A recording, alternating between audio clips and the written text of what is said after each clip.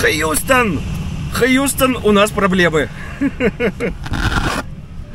Друзья, очередной ролик в стиле хоррор. А Почему хоррор? Потому что, видите, затянуло туманом нашу долину. То есть у нас заход на посадку будет через туманчик. Конечно, э, сразу скажу, что это не столь опасно, потому что, видите, туманчик редкий, но очень красивый, надо понимать. Э, И вот как сейчас быть? Правила визуальных полетов говорят нам, что в облачность ходить нельзя. Ну, на самом деле облачность, вот она висит наверху. Э, К нам э, с севера подкрадывается дождь. Видите, пик Дебюр, крыло показывает, он уже полностью закрыт осадками. Вот эта штука сейчас к нам летит. То есть у нас сейчас еще и закапает. И нам нужно на посадку, но на посадке получится заход через вот этот туманчик. Я так еще никогда не делал. И как любитель новых ракурсов, я пообещал недавно, что не буду снимать новые видео, пока не смонтирую старые. Ну как вот, как, как сделать?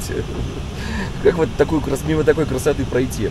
Сейчас мы попробуем очень красиво и аккуратно, безопасно зайти на посадку. Внизу полный штиль, то есть ничего такого страшного нет. Э, Но надо будет сейчас лавировать так между облаками, чтобы не потерять видимость земли. Опять же, если и потерять, то, как вы видите, туман не плотный, то есть даже холм он просматривается, самый низ холма. Я сейчас потихонечку снижаюсь. Э, И заодно мне часто задают вопрос, Игорь, а что это у вас за солнечные батареи, для чего они? Это чтобы они грелись и вам давали э, возможность высоту набрать? Нет, друзья, это солнечные батареи, которые вырабатывают электроэнергию. А холм этот вот, вот видите, красивый холм с деревьями, а, принадлежит э, нашему городку. Городок, я вам, а я вам сейчас его покажу. Вот он, городочек Лоботи-Мансильон, где я живу. И вот мэр нашего города придумал эту солнечную электростанцию. Какая была у него идея? Ну, во-первых, солнечная электростанция, тема модная, датируется государством частично, позволяет при грамотной постановке вопроса заработать денег. И городок наш зарабатывает деньги всеми способами. Потом он вкладывает эти деньги э, в праздники какие-нибудь, в инфраструктуру городочка. Видите, как тут все уютное. У нас в городе, например, все кабели, м, все провода под землей. Вот фонари есть, от проводов к фонарям не идут. И к домам тоже все убрано. Канализация красивая и так далее. Так вот, был холм. И вот видите, крыло показывает на то место, где деревья были ну, достаточно сильно побиты каким-то жучком. Ну, то есть начали болеть, плюс это вершина холма, здесь воды было мало. Э, И обсуждали, обсуждали, что делать там. И решили, а почему бы не построить солнечную электростанцию? Холм наш, наш. Вид э, на окружающее пространство портит? Не портит. Все, то есть земли этого холма не видно. Видно только с неба, о, какие солнечные электростанции. И вот вырубили все вот эти деревца, видите, вот, вот такое все росло, и раздали на дрова всем жителям местным. То есть у нас у всех дров немерено. Только мы не успели на этот праздник жизни. Э, Дрова дорогие, кстати, здесь. Вот. а Помимо этого, кстати, если о дровах, то вот э, на той стороне холм, э, гора, ну как гора, Рамбр. И э, там растут дрова. То есть там вот видите, вырубочки такие. Как раз каждому жителю нашего населенного пункта разрешается добывать дрова себе. Так, ну это я вам рассказал. Так вот, и, и вот эта электростанция сейчас зарабатывает деньги э, нашему городку Лоботин Силен. В принципе, я очень люблю людей, которые стараются сделать, ну, не для себя, не урвать. Вот он, если мэр, то э, он, может быть, в какой-нибудь другой стране решил бы, ока, я сейчас, а я сейчас э, украду что-нибудь. Ну, это он думает, что о нем будут говорить люди хорошо, помнить его дела положительные, и он полностью прав, мне кажется, в этом отношении. Так, а мы между тем, м, вот такие славные разговоры о том, что если каждый, кстати, будет делать что-то хорошее, то в целом вы получите через, ну, там, столетие, допустим, вполне себе успешную страну, в которой все вот так вот уютно, красиво и позитивно. Надеюсь. Так, э, здесь под нами, кстати, вышка сотовой связи. Тоже, кстати, о рукожопах. Э, когда здесь делали вышку сотовой связи, на ней сделали фонарь. Фу- Ну, фонарь, конечно, нужен, потому что здесь аэродром. И, как вы понимаете, на аэродроме должно что-то рядом с аэродромом, если есть вышка, она мигает. Мигает, вот, крыло показывает, видите, через туманчик мигает.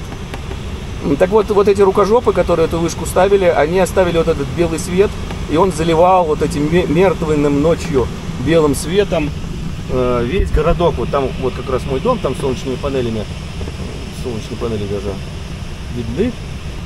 Ночью постоянно что-то мигает. Я никогда не думал, что можно сойти с ума просто за счет света. Но вот когда у тебя ночью вот так мырк, мырк, и частота выбрана какая-то такая особенная, видимо. Оно мырк, мырк.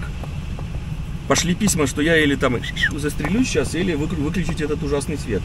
И да, писали письма и так далее. Добилась наша мэрия, чтобы на эту вышку поставили, э, надо было сразу так сделать, электронное устройство, которое позволяет э, ее выключать, ну, переключать. Ночью она горит, не мигает, горит этим самым цветом обычным, красным. Вы спрашиваете, как шасси выпускается? Да вот так. Оп, чпок, шасси выпущено. Закрылок в полтадочное положение. И вот мы сейчас аккуратненько... Блин, как же так зайти красиво, чтобы вам понравилось? О, я придумал как. Сейчас. Шасси назад. Оп. Закрылок минус 10, разгон. Сейчас мы сделаем такой нырок и прыжок. Смотрите, как красиво. Пасутся коровы мирно, скорость 200.